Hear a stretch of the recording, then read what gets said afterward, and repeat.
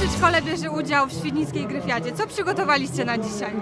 W tym roku y, występujemy z legendą o Jakubie Tał i Małym Bolku y, trzecim. Będzie to, y, że tak powiem, występ króciutki, bo w tamtym roku mieliśmy rozszerzony, a w tym roku będzie króciutko z błaznem Jakubem Tał na czele. Na czele. I rycerz. Jak dzieci są poprzebierane? Dzieci są przebierane za dwórki i dworzan i mieszczan. Jedna grupa jest y, dworzanami, druga mieszczan. I mamy Mamy małego tak. Bolka, trzeciego chronię.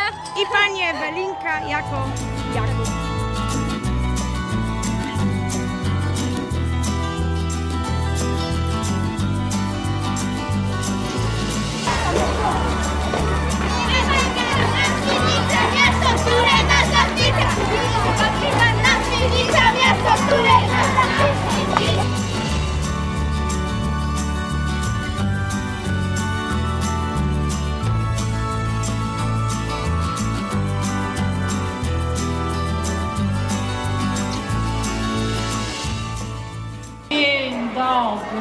Witamy Was bardzo, bardzo serdecznie.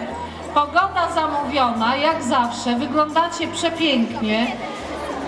Gratulacje serdeczne dla wszystkich, którzy wymyślali te stroje, czyli szczególnie dla pań, panów. Korowód był przepiękny.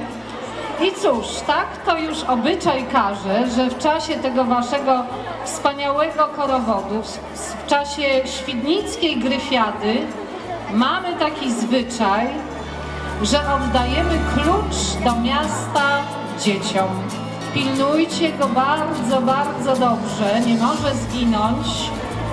Jak już skończycie rządy dzieci, to mam nadzieję, że klucz nam oddacie do Urzędu Miasta. I cóż, panie dyrektorze, wręczamy, tak? Bardzo proszę, nasz rycerz oraz dwie damy dworu otrzymują klucz do miasta i aż do zachodu słońca rządzimy w tym mieście. Pani prezydent, Świdnicka Gryfiada rozpoczyna Dni Świdnicy. Jakie atrakcje w tym roku czekają na mieszkańców?